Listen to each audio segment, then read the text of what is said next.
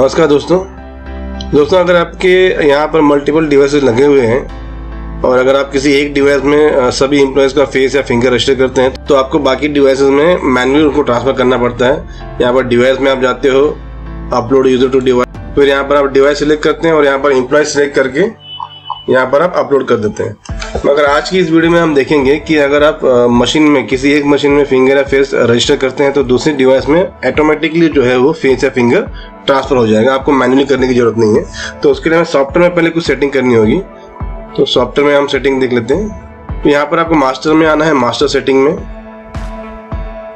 यहाँ पर additional setting में आपको जाना है।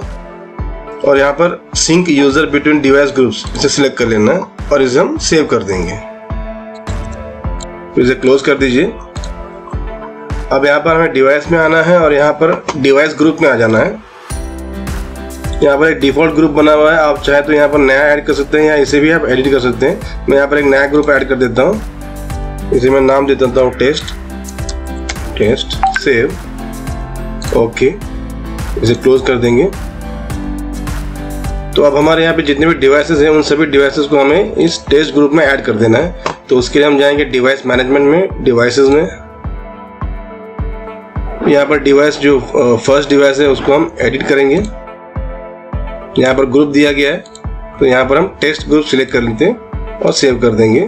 फिर यहाँ पर जो दूसरा डिवाइस है, उसे भी हम एडिट करेंगे और यहाँ पर भी हम टेस्ट ग्रुप सिलेक्ट करके उसे सेव कर देंगे। तो इसी तरह और भी डिवाइसेस होंगे तो उन्हें भी आपको सेम ग्रुप में ऐड कर देना है। तो अब जब हम किसी भी डिवाइस में फिंगर या फेस रजिस्टर करेंगे तो दूसरे डिवाइस में वो अपने आप अपलोड हो जाएगा। तो आइए देखते हैं।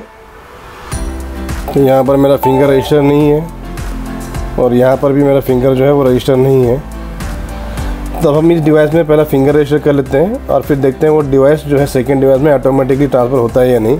तो यहाँ पर हम मेनू में आ जाएँगे। यूज़र एंड्रोल ओके फिंगर में ओके यहाँ पर अपना फिंगर हम रजिस्टर कर लेंगे। अब यहाँ पर जो है हमारा फिंगर रजिस्टर हो चुका है। अब इस डिवाइस में देखते हैं। तो जैसे आप देख रहे हैं, इस डिवाइस में जो है हमारा फिंगर जो है वो ऑटोमेटिक ट्रांसफ़र हो चुका है। तो उम्मीद करता हूँ दोस्तों आपको ये वीडियो पसंद आई होगी। हमारे आने वाले ऐसी अगली वीडियोस की नोटिफिकेशन के लिए बेल आइकन को प्रेस कीजिए। और अगर अभी तक आपने चैनल को सब्सक्राइब नहीं किया तो सब्सक्राइब ज़रूर कीजिए। धन्यवाद दोस्तों।